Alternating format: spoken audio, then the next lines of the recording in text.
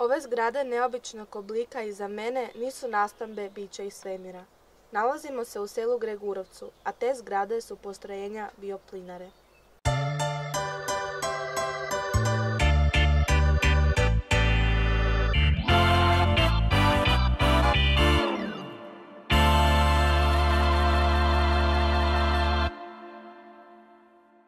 Što su to točno bioplinare, pitat ćemo direktora proizvodnje Aleksandra Sandića i voditelja proizvodnje Dalibora Čakiju. Bioplinska postrojenja su postrojenja u kojima se raspadom organske tvari kao finalni produkt nastaje električna energija, toplinska energija i organsko gnojivo. Sva sirovina, to može biti otpad, može biti nus proizvod životinskog porijekla, koji ima u sebi organske tvari, može se koristiti za proizvodnju bioplina. A osnovne sirovine prilikom pokretanja bioplinskog postrojenja su nus proizvodi životinskog porijekla, to su gnojovke, stajnjaci i energetske sirovine poput kukuruzni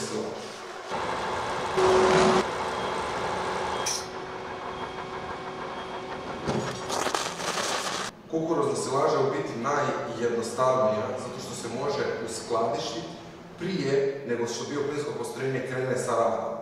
Jer da bi pokrenulo bioplinsko postrojenje, trebamo od nekud energiju. A tu energiju je najlakše skladištiti u kukuruznoj silaži. nama nije cilj u bioplinskom postrojenju koristiti velike količine kukuruzne silaže, cilj je u bioplinskom postrojenju zbrinjavati nus proizvode životinskog porijekla i organski otpad. I nama je cilj kroz dugi niz godina, jer ovdje smo minimalno 14 godina, koliko imamo potpisan ugovor sa Hroteom za isporuku električne energije, smanjivati svake godine unos kukuruzne silaže sa nus proizvodima i organskim otpadom. E, funkcija kupola, kupola nam služe za hvatanje e, bioplina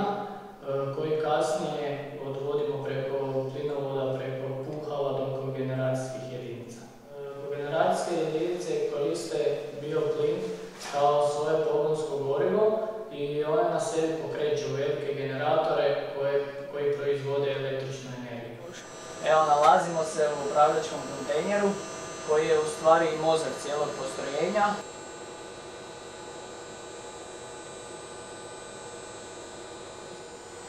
Imamo kontrolu, mogućnost i nadzor i vođenje cijelog postrojenja preko mobilne aplikacije. Preko te mobilne aplikacije mi imamo mogućnosti e, puštati u rad pumpe, otvarati i zatvarati ventile, prepumpavati sirovinu iz jednog fermentora u drugi, E, kontrolirati temperaturu, razine plina, rad motora i sve ostale funkcije. Mi imamo trenutno tri bioplinska postrojenja. Prvo bioplinsko postrojenje u Gregurovcu, pored Križevaca. Ono instalacijske snage 2 MW električne energije i 2 MW toplinske energije.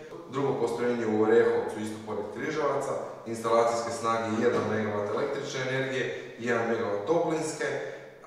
I u Slatini, pored Virovitice, 2 MW električne i 2 MW toplinske.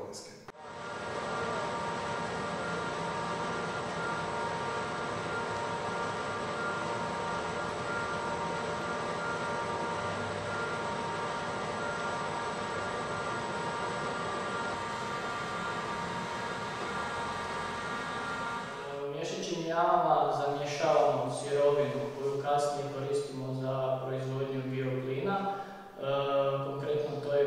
u većem dijelu kukuruzna silaža i gnojevka.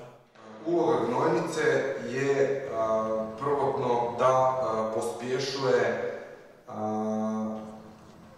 kemijske, procese koji se događaju unutar fermentara. Znači, za optimalan rad bioplinskog postrojenja potrebne su određene dnevne količine gnojevke. A s druge strane, rješavamo stočare i farmere svakodnevno njihovih količina gnojevke na način da ih iskorištavamo u bioplinu i nakon izlaska iz bioplinskog postrojenja nastaje organski organskog gnojiva koji se zove digestat, koje je onda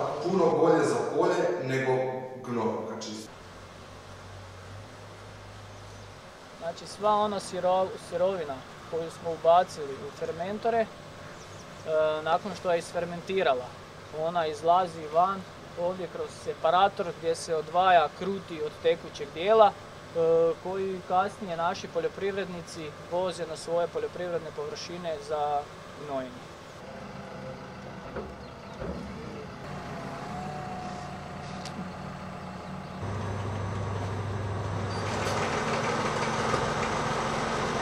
Stočari imaju korist od bioplinare tu što svakodnevno svoju količinu gnojevke i stajnjaka mogu odvoziti na bioplinsko postrojenje i s jedne strane ne, moraju zadržavati gnojev koji stanja ispod životinja i ne moraju e, investirati u izgradnju laguna i betonskih deponija za navedene nus proizvode. Bioplinsko postrojenje u biti možete usporediti sa kravom, jer isti procesi oni koji se događaju u kravljem buragu se događaju kod nas u fermenterima. Znači, bioplinsko postrojenje